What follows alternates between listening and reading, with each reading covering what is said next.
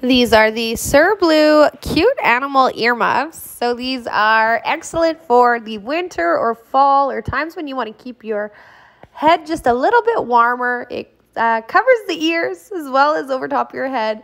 Uh, you can fold these down to into a smaller bundle. Love the little sparkle detailing up top of the ear.